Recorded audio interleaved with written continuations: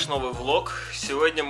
Отправляемся, вернее не сегодня, завтра, но для вас сегодня на Майорку. Это уже вторая поездка за последние три месяца. В этот раз мы летим чисто отдыхать, никаких других дел у нас нет совершенно. Мы выбрали сами отель, нам никто не предлагал ничего, нам никто ничего никуда нас не приглашал. Плюс наш выбор ограничивался тем, что в данном случае мы летим отдыхать с Цюрихом. Это наш первый опыт. Цюриху уже два с лишним года, и мы не отваживались с ним взять просто и полететь куда-то отдыхать. В этот раз мы решили, что ситуацию нужно исправлять и хочется отдохнуть всей нашей семьей. Пока наша семья состоит из трех человек, это Цурих, Яна и я. Есть одна проблемка, то что Цурих вообще просто отказывается летать вот в этой переноске, а по правилам авиакомпании мы летим компания S7. Мы не можем вроде как брать на борт животное без вот этой переноски. То есть как бы он должен быть внутри. Но когда он внутри, он просто дичайше бастует, рычит, он пытается расцарапать эту сумку, просто оттуда спастись любыми способами. Надеюсь, то, что сговорчивые будут бортпроводники и прекрасно поймут, то, что если собака будет под Яниной кофтой, например, то никто из пассажиров даже не узнает о том, что мы с собакой летим. Если мы его будем пытаться посадить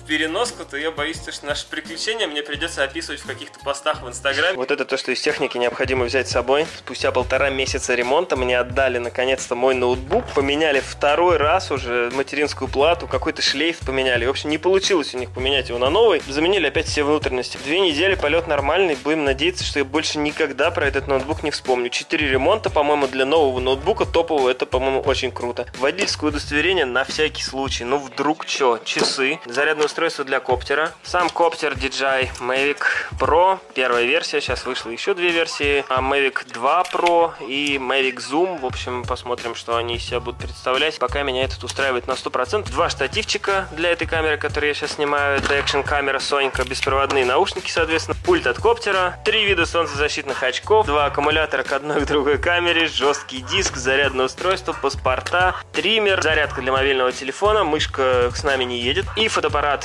Fujifilm X100T. Вот эта красная фиговина, которую я купил в Заре, причем на Майорке в прошлый раз, такая достаточно колхозненькая, но в нее можно, когда ты в путешествии находишься, особенно идешь на пляж, можно сложить, например, мобильный телефон, карточки, деньги, какую-нибудь флешку, например, от фотоаппарата. То есть, в общем, это очень удобная штука, которую можно носить на шее. Главное, что это выполняет свою функцию на 100%. Вот таким образом уже выглядит наш чемодан. Завтра рано-рано утром мы уезжаем. Цурих там уже орет в коридоре. Мы собираем вещи. Мы разберем с собой.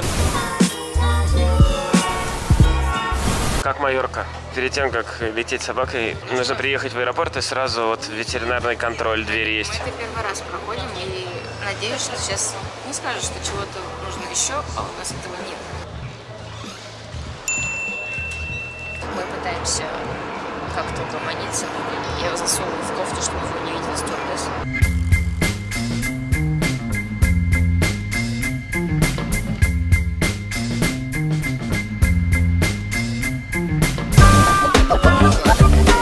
Ну что, Цюрих, как долетел, дружок? Короче, мы расскажем немножечко позже, как провозить собаку с собой на отдых. Мы делали это впервые, и, в принципе, это несложно. Нам несколько раз сделали замечание, то, что мы достали сумки его и держали на руках, потому что в сумке он категорически отказывается ехать. Он лает, скулит и, в общем, делает все то, что не позволяет его держать в сумке. Больше 30 секунд. Здесь 31 градус, шикарная погода. Короче, если вы заранее заказали машину, как мы, то вы встанете в очередь такси и мне кажется, это минут на 15 максимум. То есть очень быстро все рассаживаются и в порядке очереди уезжают в свои отели. Мы приехали в отель. Номер для молодоженов практически. В Цюриха здесь есть свое пространство. Dog-friendly отель. И вот такой вот у нас вид из окна. Мы как в замке живем. Зашибись. В ближайшую неделю мы здесь, короче. А еще, что немаловажно, нас тут ждал приветственный хамончик, очень вкусный. Даже руками грязными. Может, из-за этого и вкусно. Сейчас мы приехали, заселились в отель. Отель называется Вилламил. Находится прямо на берегу, у него свой выход на пляж. Плюс, соответственно, когда на букинге выбираешь отель и ставишь то, что ты с собакой, количество отелей очень-очень заметно сокращается, поэтому выбора у нас практически не было. В принципе, отель ничего. Короче, все так, как надо. Но в первую очередь мы пошли в сторону магазинов, потому что закрывается здесь все очень быстро. Хочется купить хамон, самое главное. А потом уже все остальное, потом уже можно на море пойти и все вот эти мелочи. Мелочи, сопутствующие хамону. Смотри, какой самостоятельный. Он, по-моему, первый раз так идет. Вокруг прям самое, что ни на есть туристическая улица улице. Патонг-Бич.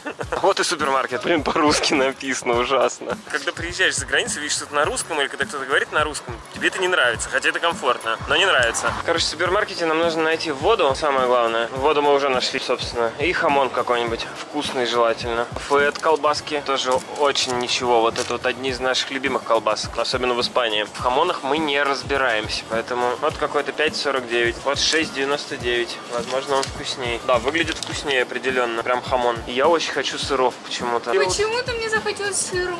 Ну, я сыр хочу прям такой супер мягкий, камамбер какой-нибудь. Я бы даже вот этот вонючий сыр поел с плесенью. Это какой-то спар такой, типа, обычный. Сабрасанде типик from Малорка. Ну, типа, наверное, какая-то традиционная колбаса, мне кажется.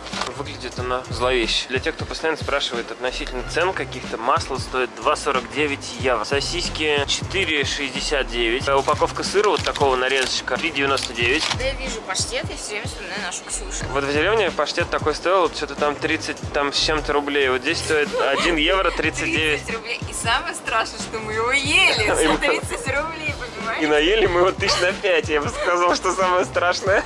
Короче, вот такая вода с алоэ стоит 1,99 евро. Шоколадка с инжиром 3,29. Пачка изюма 3,39. Не говорите, что у нас все дорого в Москве после этого. 3,29 не знаю, как это называется, как эти персики сушеные, короче. Пачка фиников 2,99. Что еще показать? Пакет сока 1,39, 100 рублей с чем-то. Наверное, как у нас. Так как в наших интересах сейчас купить много воды, мы возьмем какую-нибудь такую вот упаковочку, и упаковочка стоит, короче, 0,85 евро, походу, каждая бутылка. Зая, ты не поверишь. Вот именно здесь, в этом магазине, Который мы покупаем, да? продаются мои любимые хлебцы, которые я ищу и покупаю только в азбуке. Ну, теперь можно из Испании их привезти. Они просто божественные. Сулечка, ну что ты-то любишь? Что ты молчишь-то все время? Маленький пакетик кокосовой воды 3,35 евро. Вот максимально понятная по ценам. Пачка Принглс стоит 1,99 евро. Ну, это, конечно, так себе супермаркет, но как сыров могло бы быть значительно больше, потому что только вот такие вот какие-то, вообще, как будто они где-то в Подмосковье сделаны.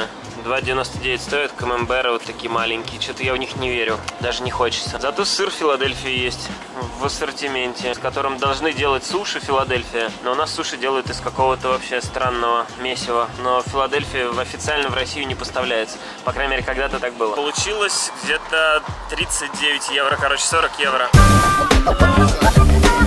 Короче, в нашем райончике по вечерам очень такая оживленная движуха проходит. Очень все это напоминает, знаете, какой-то тайский курортный городок, какой-нибудь пляж, типа там Корон Бич или Патонг Бич, там что еще страшнее. Но здесь совершенно другая категория людей отдыхает, в основном, как я понимаю, немцы.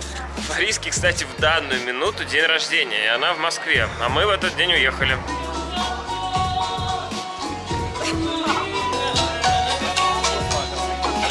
Очень круто, что здесь можно купить практически любой фрукт. Например, арбуз, и он сразу будет с ножичком, с вилочкой, ананасик, манго, что-нибудь, все что угодно. И поесть это сразу на пляже, который находится прямо в 50 метрах отсюда. Видите, дынька с ложечкой.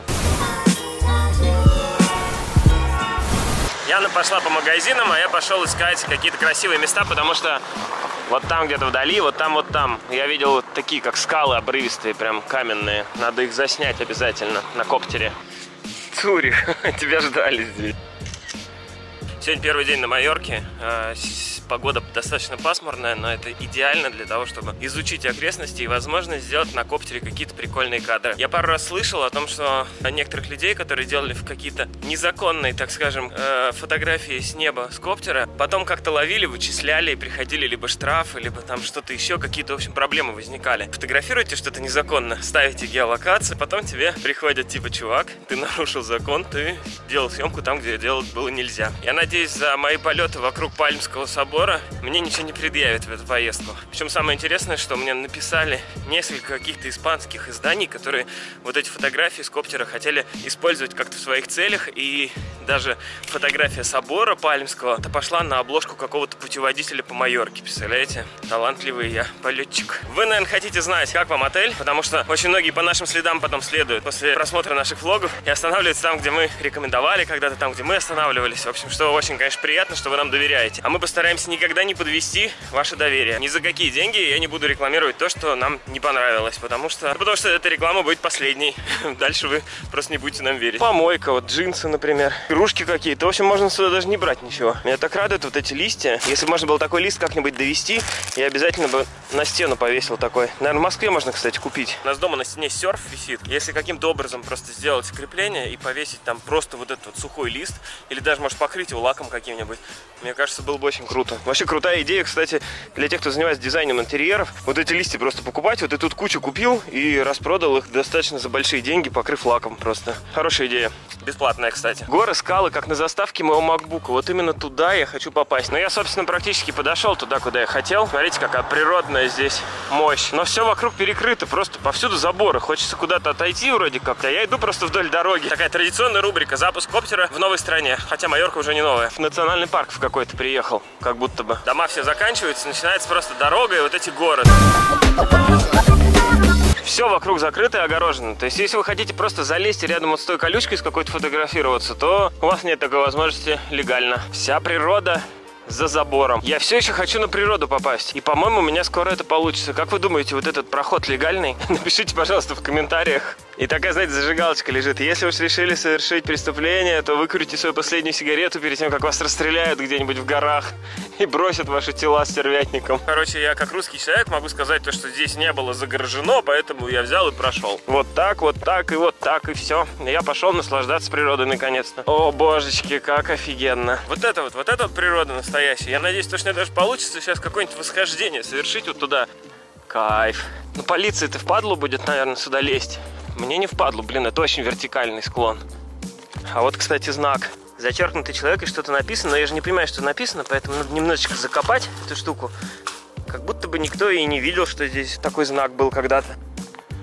Офигеть. Тачка. Нормально вообще? Знаете, как в фильмах ужасов, как будто бы здесь там кого-то убивали сверху, потом машину сюда скинули, чтобы никто не, не, не увидел никогда в горах. Вот я, блин, сталкер. А, здесь, походу, трасса для спуска на велосипедах. Какого-то экстремального, потому что навалены всякие бревна. Кто-то здесь, походу, нифигово так спускается. Самое классное при восхождении на какой-либо город, то что ты каждые 10 метров буквально 15 проходишь и думаешь, блин, какой классный кадр, уже лучше не будет точно. Встаешь, фотографируешь это все, проходишь еще 15-20 метров, оказывается, что кадр еще лучше. И вот я сейчас останавливаюсь каждые 2 минуты и фотографирую снова. Смотрите, какой-то глиняный кувшин. Возможно, ему 500 лет уже. Или 1000. 1000, скорее всего не нужен, он не такой старый. Блин, велосипедисты сумасшедшие люди. Представляете, нестись на велосипеде, вот по такой херовине, там, мимо дерева, мимо камней. То есть ты падаешь и каким-нибудь там неудобным своим краем человеческого тела задеваешь какой-нибудь острый камень. И нифига хорошего не происходит. Очень красиво и очень свежо. Вон наш пляж, наш отель. Мне кажется, по калориям я уже завтрак стопудово сжег. Сейчас нужно сразу авансом на ужин накопить сожженных калорий и заменить их потом сожранными калориями. Я вижу путешествия именно такими. То есть не то, что ты там типа сидишь и лежишь около отеля, как мы планировали, в принципе. А нужно обязательно что-нибудь изучать ногами. Яну я бы сюда точно не затащил, поэтому Яна, смотри моими глазами, как здесь классно было. Достаточно рядом с отелем, а ощущения уже совершенно другие. Я бы сказал, даже вообще от Майорки другие ощущения, когда сюда поднимаешься. Ну, короче, коптер можно было с собой не брать, в принципе. Велосипедисты странные люди. То есть, получается, они тащат сюда, в гору, свой велосипед для того, чтобы потом быстро на нем съехать. Очень странная фигня. Наверное, оно того стоит. Представляете, какой здесь пикничок можно сделать? Вот здесь вот сесть и вот с таким видом провести время. Я всем всегда говорю, если вы приехали в какую-то страну, нужно как можно больше ходить ногами. Если вы ходите своими ногами, и вас донесут в любую самую интересную точку, даже если вам придется потратить на это много времени. Даже если вы ничего не найдете, сам путь вам доставит просто огромное количество разных эмоций. Горы это какая-то сила, которая мало с чем сравнится. В них прям чувствуется такое, знаете, скопление, сгусток энергии всего мира. Знаете, падать отсюда все страшнее с каждым разом. Я, кстати, здесь не один. Извините, что я вам показываю. То лосиные какашки, то еще чьи-то. Короче, здесь Есть какие-то эти знатоки в мире какашек. В общем, какие-то какашки кругленькие. Какое-то животное, которое какает кругленькими какашками. Напишите в комментариях, что это за животное. Блин, походу я туда не залезу. Либо, знаете, фильм есть то ли 72 часа, то ли 172 часа называется. Либо какое-то другое число, короче, где альпинист попал в расщелину скалы и там отрезал себе руку, чтобы выбраться. Надеюсь, до руки сегодня не дойдет, но кадры я красивые снять обязан. Видите, ради вас в лепешку расшибусь. Ну и ради себя немножко. Меня знаете, что удивляет в этом во всем? То, что здесь очень красиво, но нет людей. Я встретил двух человек за всю эту прогулку, и то они были там полчаса назад. Представляете, как пещерные люди жили? О, блин. Это животное водится где-то здесь. Зацените. Вот это все вот это, это все горы вот этих какашек. То, что здесь живет, должно иметь задницу, через которую вылезет вот такая какашка. То есть это как минимум что-то вот такое, наверное, по моим подсчетам.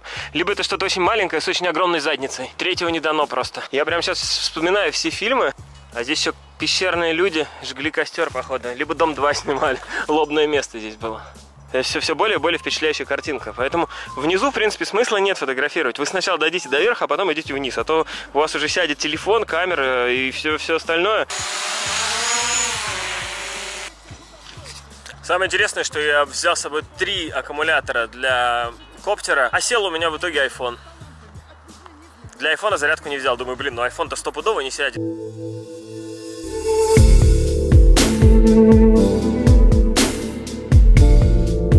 Восхождение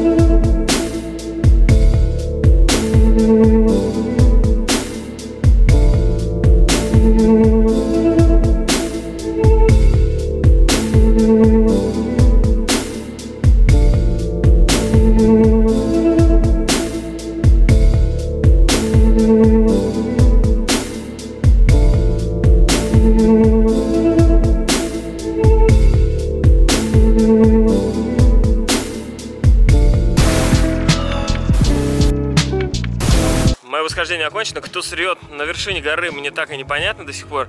И самое интересное, что я думал, что я один такой подвиг здесь совершил. И, короче, пока я здесь снимал видео, снимал влог и пытался сфотографировать сам себя с помощью коптера, расстаю я такой, сфотографирую себя со спины и смотрю вдаль туда. За звуком коптера мне не было ничего слышно. И после того, как я там напозировался весь, так, так, там, блин, вытягивая ручку, там, меняя ножку и так далее, поворачиваясь назад, жужжит коптер, а под коптером стоят такие двое пенсионеров, такие, типа, чего, что он здесь делает? Либо это какой-то суицид на камеру, либо чувак просто сумасшедший. Суицида не было, поэтому я просто сумасшедший. Не знаю, забраться на нее, походу, все-таки нереально. Погода просто волшебство. Будь во мне небольшие задатки скалолаза, я бы сейчас точно до верхушки дошел бы. Так что-то мне не столько страшно туда забраться, как обратно потом спускаться? Обратно всегда почему-то сложнее.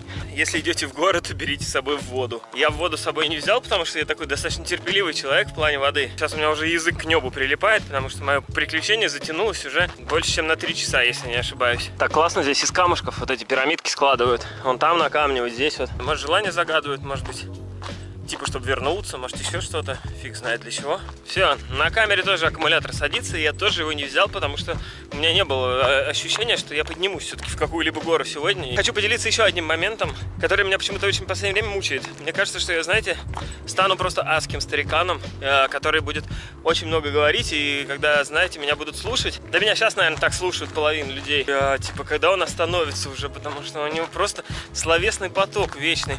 Мне кажется, все, кто меня окружает, все мои друзья и знакомые ненавидят мои голосовые сообщения, потому что я по голосовым сообщениям разговариваю как по телефону. Мне, в принципе, типа ответов и вот этих поддакиваний не нужно. Я могу начать голосовое сообщение, а потом, когда я отпускаю кнопку записи, я смотрю там, типа, блин, 3 минуты, 5 минут. Причем я сам-то ненавижу эти длинные голосовые сообщения. И меня, честно говоря, в последнее время это начало это очень сильно напрягать. И я сейчас иногда смотрю, если голосовое сообщение, типа, там больше минуты, а я какую-то вообще херню говорю, то я стараюсь удалять ее и заново перезаписывать. Стараюсь переучить себя чтобы научиться говорить коротко. У меня прям реально комплекс развивается, то, что я так дохера говорю. Ну вот то же самое во влогах, вы не представляете. Вот наснимешь материалы просто до хрена, и в итоге из этого материала ты сидишь, вырезаешь, думаешь, а, блин, вот эти 10 минут даже слушать лень, вот эти 10 минут нафиг. Короче, я очень дохера говорю, и это очень сложно монтировать. Типа пожаловался, опять дохера наговорил просто ради того, чтобы это сказать. Я просто фигею над собой, короче. К какому врачу идти обследоваться, чтобы вот этой вот херни не было? Какие таблетки надо пить, чтобы мало говорить?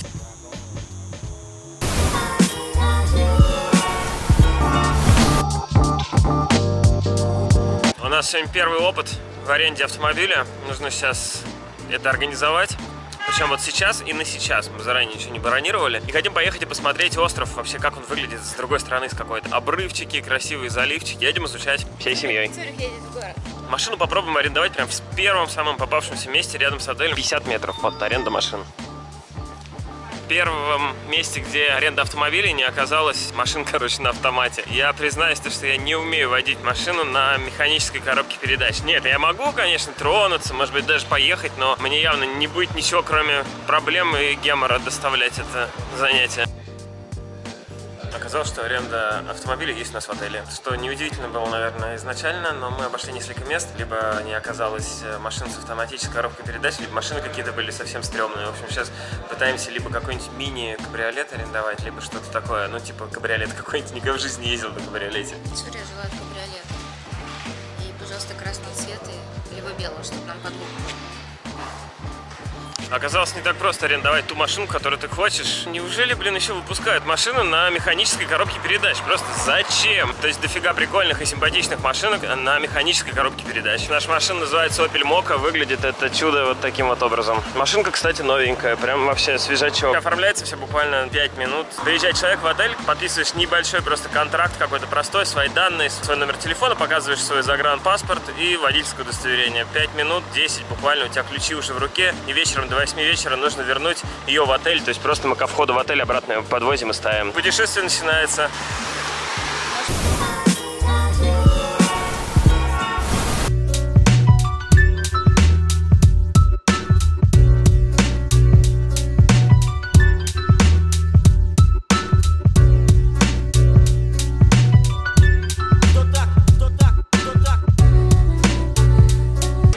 Всего теряли, что не брали машину.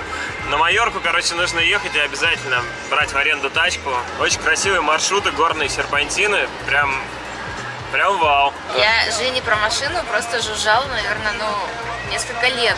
И, наконец-то, Женя соизволил. Блин, смотри, как круто! Не хочу держать руль.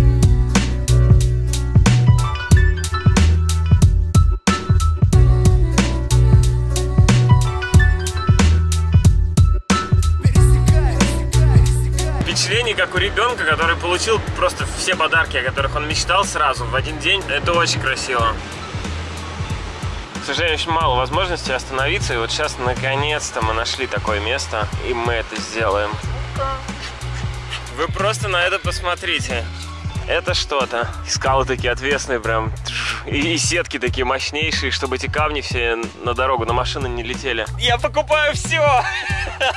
Тут смотри, как по свету стоит тачка. Ее не надо рекламировать, к сожалению.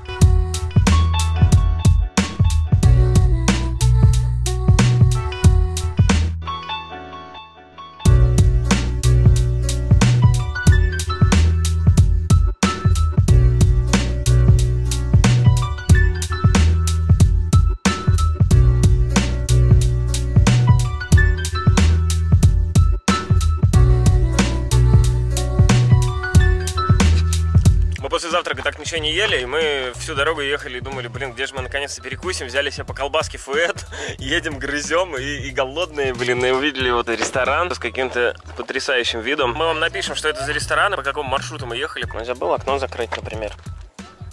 Огромное количество серпантинов, и все вокруг, вот каждые 50 метров ты писаешь кипятком. Блин, наш пятикрузер. Вот именно вот такая машина, именно такого цвета, именно, наверное, такой комплектации была наша первая машина. Блин, такого же цвета салон, с красными панельками внутри. А, ну у нас была Limited Edition, а здесь, типа, ну, это другая немножечко. Суть остается такой же. Короче, ресторан называется GS или CG, или GS, блин, ненавижу эту, эту, эту вязь эту. Хотели мы что-то типа того взять изначально на прокат, но вообще ни разу не разочаровались, потому что машинка вполне себе едет, кондиционер только медленно охлаждает. То ли ES Grau, то ли GS Grau. Это как капча, блин, в гугле, хрен пойми. Да неважно. А там туннели какая-то смотровая, походу, площадка.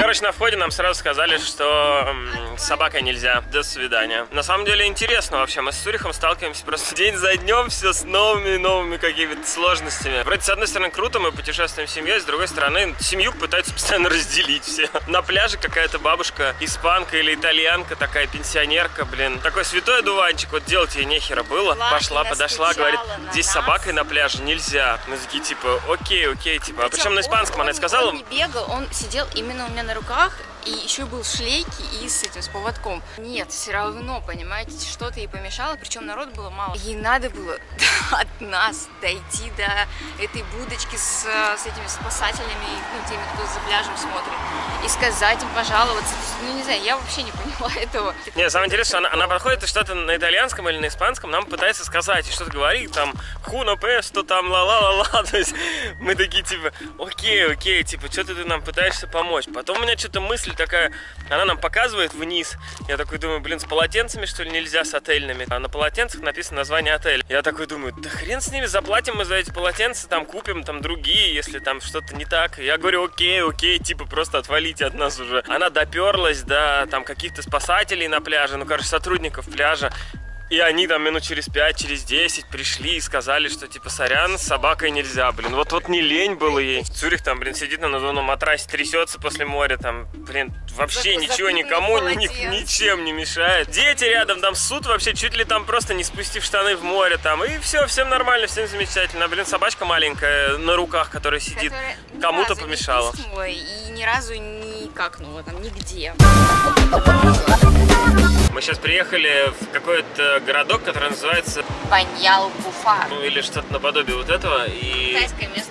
Да, тайское место. У нас здесь одна основная проблема, то что здесь практически невозможно припарковаться совершенно нигде, где есть какая-то еда. Любой какой-то ресторанчик, пиццерия, кафешка, где мы хотели бы остановиться. Я хотела бы найти ресторан, где нас пустят с Цюрихом. Вот, чтобы там было вкусно. И это было просто программа максимум на сегодня. Короче, голодные, едем дальше. Вот, казалось бы, едем в горах, а асфальт настолько идеальное покрытие, как будто вот только что положили на протяжении всего маршрута, а едем мы уже часа два, наверное. Сами не ведая того, мы повстречали указатель города Сальер, город, э, в который ходит, Старый поезд, нам про него рассказывали в прошлую поездку на Майорку. в общем, какой-то деревянный ретро-поезд, супер красивый сюда ходит. Блин, я просто не мог здесь не остановиться. Во-первых, здесь огромное количество вот этих деревьев брокколи, а во-вторых, здесь прям ослы, вон они. Вот это все. Мы разгадали эти деревья, на них растут оливки. Парля франце. Блин, осел, какой клевый. Ну передавай привет, давай, ты же хотел. А можешь тебя потрогать? Ну дай потрогаю. Ну давай уже, чего то Целуйтесь уже, давайте два животных. Литр бензина 98-го стоит полтора евро. 1,4 там с копейками стоит 95 бензин. Примерно 120 рублей за литр. Хорошие у нас в России цены на бензин. Пока. Приехали в ресторан уже во второй, и он закрывается. А закрывается он потому, что здесь фиеста. Это просто прикол. В ресторане фиеста это что-то за гранью понимания. По крайней мере, для русского человека. Я, ну ты мне скажи, как может быть фиеста в том месте, где нужно обедать?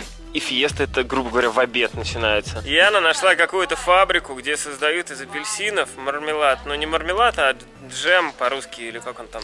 Прям типа апельсины настоящие и, и фабрика.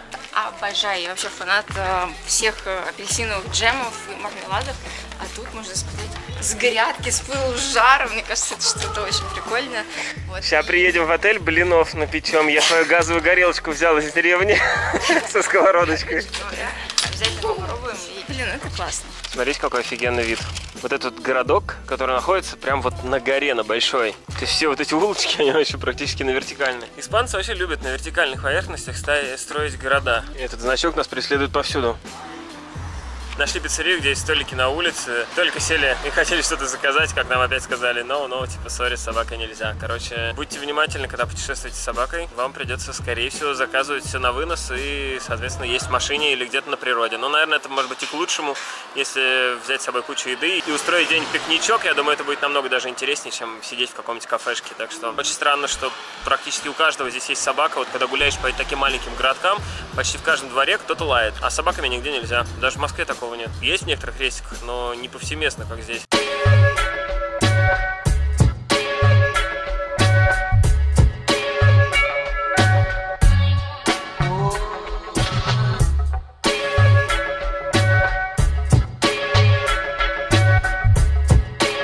Блин, охренеть.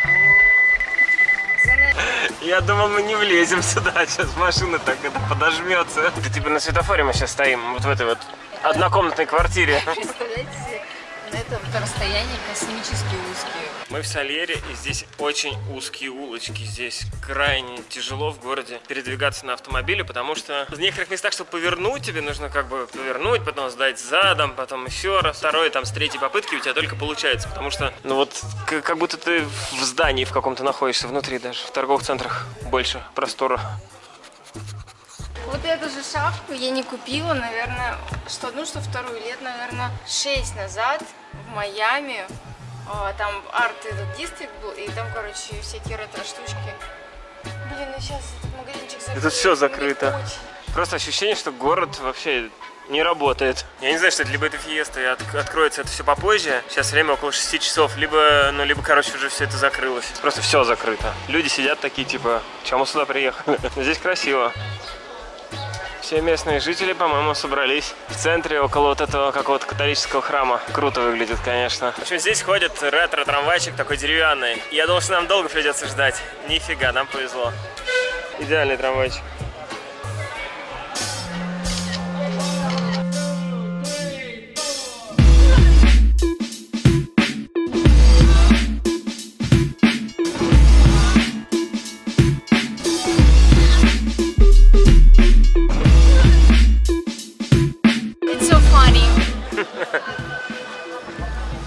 Этого, короче, можно было в Сальер приехать. Тут храм, а внизу лимоны. Вон одно дерево лимона и второе дерево лайма, вот это вот левей. Это не лимоны, это мандарины. Почему столько эмоций вызывают мандарины? Потому что я не из Испании родом, вот почему. Здесь, кстати, куча рестиков различных, кафешек. Если вы проделываете вот такой вот маршрут, как мы, знаете, в идеале можно уже доехать до самого Сальера и здесь уже провести достаточно много времени, потому что куча маленьких улочек, можно классно пофотографироваться, покушать здесь.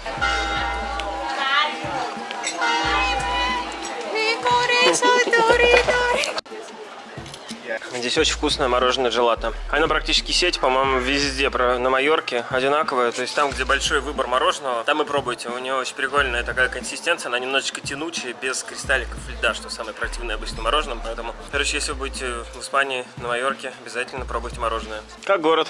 Очень странно. Я тут в торговом центре. Здесь такое все маленькое, что ощущение, что ты вообще даже не в городе, а где-то вот нет ветерка какого-то, поэтому воздух стоит. Пахнет тоже как в помещении. Но здесь классно. Вот для любителей таких маленьких городков, европейских маленьких улочек. 1 сентября чего хотели? Дворник жжет листву. У нас, к сожалению, не очень много времени на изучение этого города, поэтому мы возвращаемся в отель. Нам нужно сдать машину до 8 часов вечера.